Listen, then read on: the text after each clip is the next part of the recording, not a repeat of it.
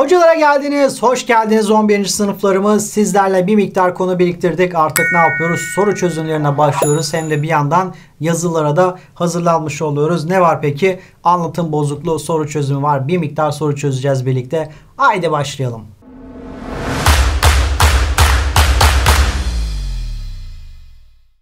Arkadaşlar geliyor sorularımız. Bunun gibi yanlış hatırlamıyorsam 15 tane soru hazırladım. Ee, 15 soruyu çözeceğiz. Anlatım bozukluğunu inşallah tamamen bitirmiş olacağız. Başlayalım. Bir cümlede aynı anlama gelen iki sözcüğün bulunması anlatım kusuruna yol açar. Yani aynı anlama gelen sözcük kullanımından kaynaklanan anlatım bozukluğunu anlatıyor bize. Aşağıdakilerden hangisinde bu açıklamaya uygun bir anlatım bozukluğu vardır? Uzun ve yorucu bir yolculuktan sonra köye vardık. Aynı manaya gelen bir şey yok burada.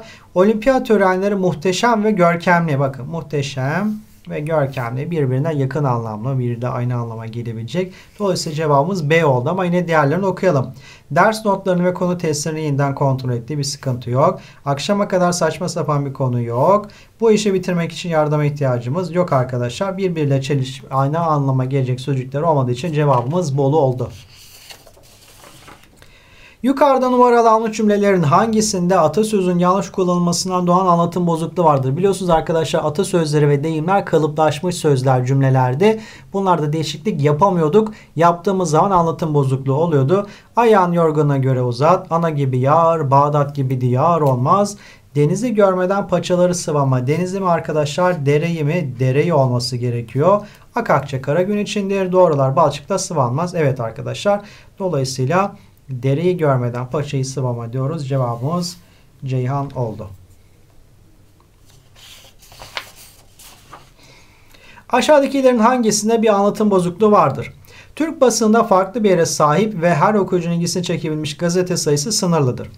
V varsa arkadaşlar bir orada anlatım bozukluğu olabilir diyeceğiz. Dikkat edeceğiz. Türk basına farklı bir yere sahip gazete sayısı var, sınırlıdır.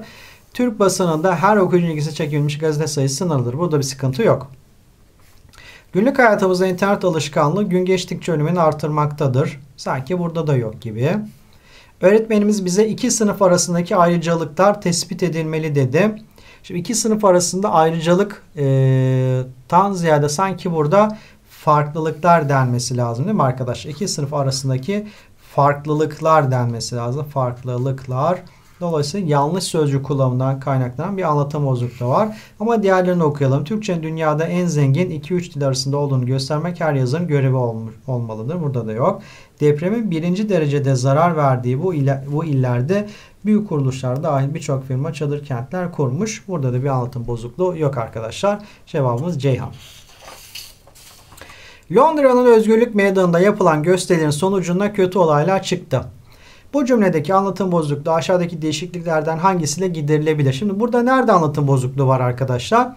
Londra'nın özgürlük meydanında yapılan gösterinin sonucunda kötü olaylar çıktı. Şimdi bir şey olmuş onun sonucunda mı deriz sonunda mı deriz? Sonunda deriz değil mi? Sonunda. Sonuç içinde olması lazım. İşte bir işlem yapmanız lazım ki sonuç çıksın. Ya da bir şey deneyeceksiniz. İşte A ile B'yi birbirine karıştıracaksınız. Bir işlem yani illa matematik işlemi şart değil. Bir işlem olması lazım. Bunun bir sonucu olur arkadaşlar. Bir araştırma yaparsınız. Bunun sonucu olur. Ama bir olayın sonucu değil sonu olur. Yani buradaki manasında kullandığımızda. Dolayısıyla sonunda diye düzeltmemiz lazım. Bakalım seçenek var mı? A'da B'de sonucunda sözcü yerine sonunda yapılarak arkadaşlar. Evet doğru cevabımız Edirne olacak. Aşağıdaki cümlelerin hangisinde bir anlatım bozukluğu yoktur? Bazı yazarlar genç yaşında bu dünyadan ayrılır. Burada yok gibi. Bir tik atalım. Bu filmi çekmenin nedeni öyküyü beğenmemden ötürüdür. Şimdi bu filmi çekmemin nedeni öyküyü beğenmemdir diyeceğiz değil mi? Neden ve ötürü birbirini karşıladığı için B'de anlatım bozukluğu var. Bütün gün benim bomboş evde oturduğumu sanıyorlar. Evde mi bomboş oturuyor, bomboş evde mi oturuyor? Net değil. Bu da anlatım bozukluğu. Dünkü beklenmeyen saldırıda ilk yaşamlarını yitirenler sanatçılar olmuştu. İkinci yaşamlarını kimler yitirmişti diye sorarlar insana. Yaşamını ilk yitirenler sanatçılar olmuştu demesi lazım. Bu konudaki bildiklerimin hiçbirini ve bilmediklerimin bir kısmını anlatmak istiyorum. Bu konuda bildiklerimin Hiçbirini demeyiz. Hepsini ve bilmediklerin bir kısmı diye düzeltmemiz lazım. Burada da anlatım bozukluğu var ama Adana'da arkadaşlar herhangi bir anlatım bozukluğu yok. Aşağıdaki cümlelerin hangisinde sonuç sözcüğünün yanlış anlamda kullanılmasından kaynaklanan bir anlatım bozukluğu vardır? Bu uzun araştırmalar sonucu ilaç elde edilmiştir. Bakın bir araştırma var, sonucu var. Biraz önce buna benzer bir e, soru çözmüştük. Burada bir sıkıntı yok. Fabrikaların yaydıkları gaz ve dumanların halk sağlığından zararlı olduğu sonucuna varılmıştır. Bir araştırma yapmışsınız, bir sonuca varmışsınız. Bu bölgede kullanılan oylar seçimin sonucunu, evet bir neticelenme durumu söz konusu. O tarihten bu yana zihnimde beliren düşünceler sonucunda bu açıklamayı kabul yapmam gerektiğine inandım e, neticesinde sonunda demesi lazım sanki burada değil mi arkadaşlar? Bir dursun. Çevre yolunda ölümle sonuçlanan evet bir olayın sonucu olabilir. Dolayısıyla cevabımız oldu arkadaşlar? Düzce oldu.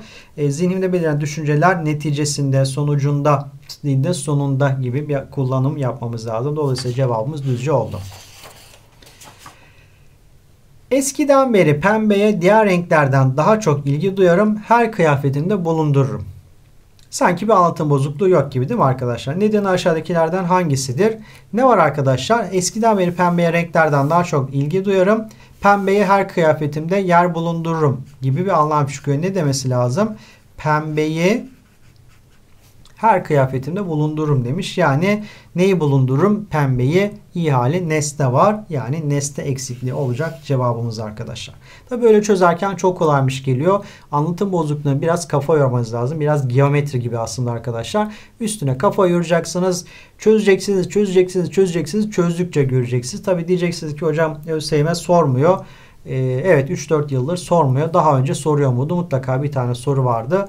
Belli olmaz bakarsınız tekrar döner. Sizin sınava gireceğiniz sene soracağı tutar. O yüzden arkadaşlar e, şimdiden hazırda böyle kafanız çok yoğun değilken ne yapın? Anlatım bozukluğunu halledin. 5 tane öncülümüz var. Bakalım soruda ne diyor? Numaralanmış cümlelerin hangi ikisinde anlatım bozukluğu vardır demiş. Bakalım. Bir hafta önce duran inşaat çalışmaları işçiler tarafından yeniden başlatıldı. Sanki burada yok gibi yok gibi dediğimiz için bir tik koyalım. Sonra tekrar döneriz. Baktık cevabı bulamıyoruz. Buradaki yoklama kağıdına bakarak hangimizin gelip gelmediği rahatlıkla anlaşılabilir. Bakın hangimizin geldiği, hangimizin gelmediği şeklinde düzeltmesi lazım. Burada bir anlatım bozukluğu var. Türkiye'de sayısı bilinen kanserli hastaların yanında sayısı bilmeyen birçok kanserli hasta var. Sanki burada da yok. Memleketini terk edip İstanbul'a gelenlerin başında Karslar ve Sivaslar vardır. Sanki burada da yok. Türkiye'de büyüklerin söylediklerinin dışına çıkmayan ve büyüklerin söylediklerini dikkate almayanlara ya da işte e, söylediklerinin dışına çıkmayan veya onları dikkate almayanlara iyi gözle bakılmaz e, dedi ve 2-5 oldu. Bakalım yaptık ama seçeneklerde var mı? Evet düzce seçeneği var. Demek ki doğru yaptık arkadaşlar. Hangimizin geldiğini, hangimizin gelmediği, hangimizin geldiği, hangimizin gelmediği şeklinde düzeltmemiz lazım. Bunu da onların nesne eksikliği var demiştik. Özne, bitkiler ve hayvanlar cansız varlıklar ya da soyut kavramlardan oluşuyorsa yüklem tekil olur. Aşağıdakiler hangisinde bu kural aykırı bir kullanım vardır? Çalışkan kişiler her zaman diğerlerinden farklıdır. Şimdi burada soyut bir kavram değil mi? Aslında e, kişiler derken hani gerçek bir şeymiş gibi duruyor ama çalışkan kişiler derken bir soyut kavramı kastediyoruz. Elindeki limonları sebzeliğe yerleştirdi. Zaten burada herhangi bir sıkıntı yok. Ben çayı hazırlarken sen de çiçekleri sula. Burada da bir sıkıntı yok. Hatıralarım düşündükçe gözlerimi yaşartırlar. Değil mi? Yaşartır demesi lazım. Ee, ne diyordu kuralımız? Cansız varlıklar ya da soyut kavramlardan oluşuyorsa yüklem tekil olur. Burada çoğul olmuş. Cevabımız düzce oldu. Bu tür çiçekler sadece gölgede yetişiyor. Bakın burada da e, çoğul ve tekil. Bunda da bir sıkıntı yok. Cevabımız ne oldu arkadaşlar? Düzce oldu. Bu arada e, kendi öğrencilerimde de görüyorum. Doğru cevabı işaretleyip diğerlerinin üstüne tik tik böyle çizme ihtiyacı duyuyorlar. Niye yapıyorlar? Defaatle konuştum ama böyle bir alışkanlık var. Zaman kaybı sizde de varsa arkadaşlar bırakın. Hatta e, bir gün bununla alakalı bir çalışma yapacağım. Bir deneme alacağım. TET denemesini. Sadece doğru cevap işaretleyip tak tak tak yuvar çizeceğim. İkisi arasındaki saniye farkını ölçeceğim. Sizlere de bildireceğim inşallah. Bakalım. Türkçe'de bir cümlede kullanılan özne ile yüklemin olumluluk olumsuzluk yönünden de uyumlu olması lazım. Yani yük, özne uyumluysa e, ne oluyor? Hani özne ile yüklem arasında uyumluluk arası, olumlu olumsuzluk anlamından uyumlu olması gerekir aşk demiş arkadaşlar. Aşağıdakilerin hangisinde bu açıklamaya aykırı bir özne yüklem ilişkisi vardır? Sevmesen bile herkesin düşüncesine saygı duyman gerek. Burada yok sanki. Kimse senden hoşlanmıyorsa herkesi memnun etmek için çaba göster. Burada da yok gibi. Birkaçı bir araya gelmiş soruları tartışıyordu. Birkaçı birkaçı sıkıntı yok. Kimse beni bugün anlamıyor. Üzerime gelmeyi tercih ediyor. Bakın zaten bak birden fazla cümle var. Ee, sıralı bir cümle söz konusu. Böyle bir şey varsa anlatım bozukluğu hemen sizin aklınız bir kenarda yansın böyle soru işareti olarak. Kimse beni bugün anlamıyor. Herkes üzerime gelmeyi tercih ediyor. Bakın kimse beni bugün anlamıyor. Kimse üzerime gelmeyi tercih ediyor. Oldu mu? Olmadı. E, kimse dediği için olumsuz olması lazım. Bir tane ortak özne kullanmış. Bağımlı sıralı gördüğünüz gibi. Ama biz aslında bunun olması lazım. Sadece sıralı olması lazım. Kimi zaman kimseyle konuşmaz ama herkese gülcük saç. Bakın kimse herkes diye burada ayırmış. Tıpkı oradaki kullanım burada da olması lazım. Yani cevabımız düzce olacak arkadaşlar. Bu parçada numaralanmış sözcüklerden hangisinin cümleden atılması anlam daralmasına yol açmaz. Yani birini atacağız e, onun yerine bir benzeri olacak. O benzeri olan cümle içerisinde benzeri olan bir kelime atmamız lazım. Dede Korkut hikayeleri dil yönünden bunu atamayız. Ayrı bir önem taşır. Yüklem zaten atamayız. Sözcüklerin ve deyimlerin sayısı ikisi farklı şey. Birbirinin yerini tutmaz atamayız. 8000'e yakındır bunu atamayız. Zaten bu kaldı e, yabancı sözcüklerde eklenmiş katıksız öz Türkçe. Zaten bakın katıksızla e, öz Türkçe, saf Türkçe manasında arkadaşlar. Ne var? Birbirinin yerine kullanılabilir. O yüzden katıksız demeye gerek yok. Edirne'yi atabiliriz arkadaşlar. Yukarıda numaralanmış bölümlerin hangisinde gereksiz sözcük kullanımından kaynaklanan bir anlatım bozukluğu vardır? Bakalım. Çeviriler edebiyat için vazgeçilmez ürünlerdir. Yok zaten gayet kısa bir cümle. Çeviri bir edebiyatı başka bir edebiyata tanıtır. Sanki yok gibi. Bu tanışmada kültürler arası bir paylaşım gerçekleşir. Sanki yine yok gibi.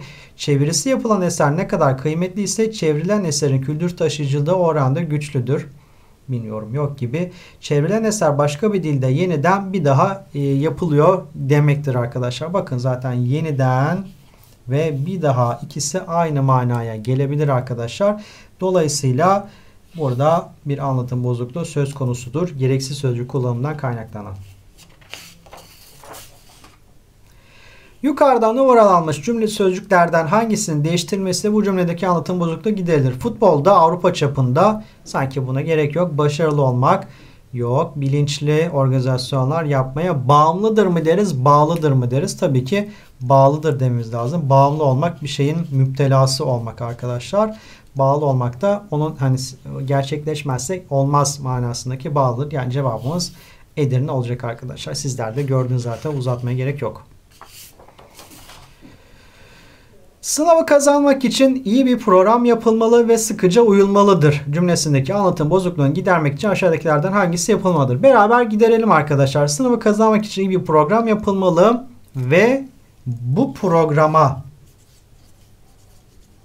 ve bu programa sıkıca uyulmalıdır ya da buna da diyebiliriz. Fark etmez. Buna benzer e, program plan yapılmalı ve bağlacının sonra o program. Evet bu program o program aynı şey arkadaşlar. Dolayısıyla cevabımız ne oldu?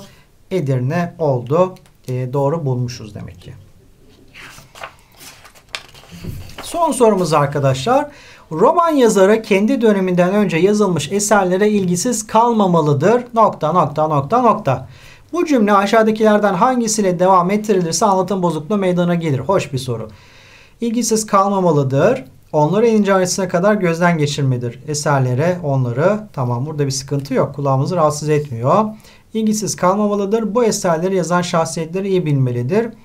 E, eserlere ilgisiz kalmalı, kalmamalı. Eserleri yazan şahsiyetleri bilmelidir. Sıkıntı yok. Bu eserlerin dönemlerin yazış amaçlarını bilmelidir. Bunda da sanki sıkıntı yok gibi elinden geldiğince okuma gayretinde olmalıdır. He, eserlere ilgisiz kalmamalıdır ve bu eserleri bu eserleri elinden geldiğince okuma gayretinde olmalıdır demesi lazımken dememiş arkadaşlar. Ve bakın bunları derken dikkat ettiyseniz yönelme eki var. Ee, belirtme eki, belirtme eki, e, belirtme eki, belirtme eki var. Burada belirtme eki kullanmamış. Zaten e, seçeneklerin hepsine baktığınızda farklı olanı daha rahat bir şekilde görüyorsunuz diyoruz arkadaşlar ve anlatım bozukluğu sorumuzu bitiriyoruz. E, soru çözümümüzü bitirmiş oluyoruz. Yeni videolarda görüşmek üzere. Kendinize bakın.